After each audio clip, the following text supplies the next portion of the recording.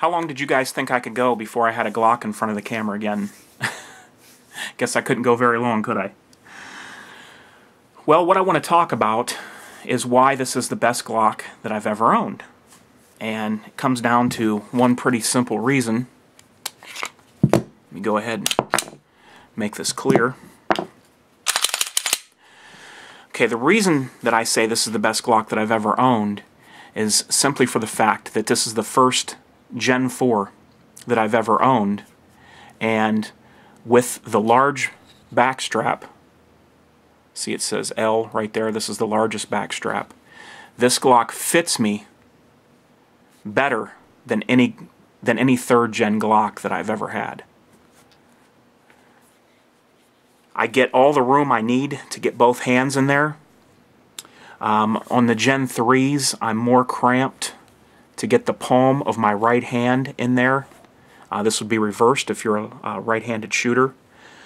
But I have all the room I need to get that perfect grip for me. I've told people before that this Glock with the largest back strap is feeling more in line with uh, how the HK grip is to me, like on the full-size 45 HK USP.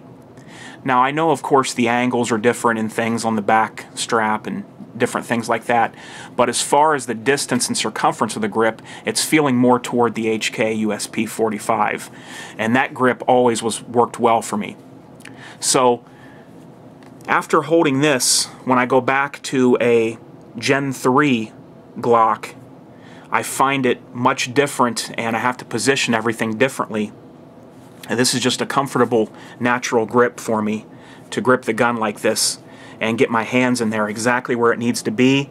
My grip is more secure and just all around uh, you shoot I shoot the gun better uh, because that's th that those little things are going to fall in line.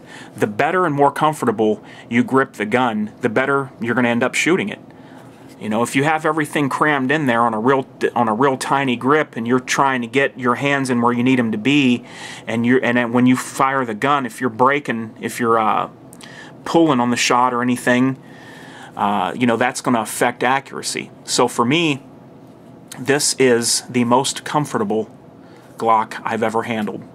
It's because of that large backstrap.